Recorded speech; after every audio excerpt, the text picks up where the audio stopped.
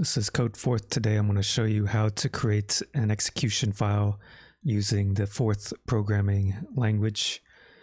Today I'm going to use Swift 4th.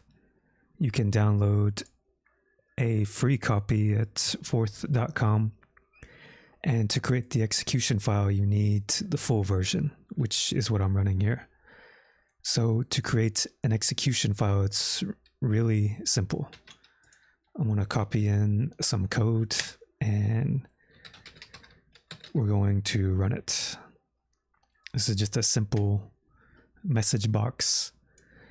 All it does is it uh, we have the text hello right here, and then we have our our mes message box with a caption.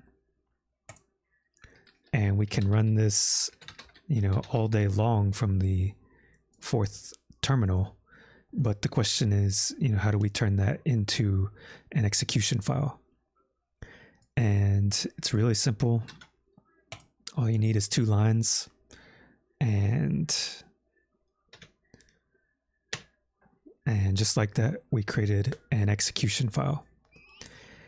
So basically, you're going to type in the the word name, which in this case is Simplebox and you're going to have that go to this uh, main.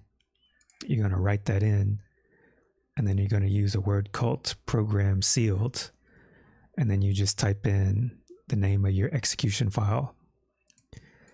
And if everything goes all right, you'll get a OK at the end, which is you know typical for the Forth language. So uh, we can actually open this file And let's see if we can find it. There it is. Now, if you install uh, SwiftForth, it will, anytime you write an execution file, it's going to write to this file path, which will be Forth Inc. SwiftForth slash uh, bin. And there we have it, our execution file. And I mean, it's it's that easy. And whenever you run it for the the first time, it it will close out Forth, but um, in the documentation it says that it does do that. But every time you run it after that, it won't. Uh,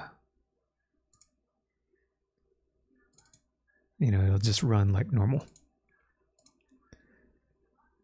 So that's pretty much how you create an execution file using the Forth programming language.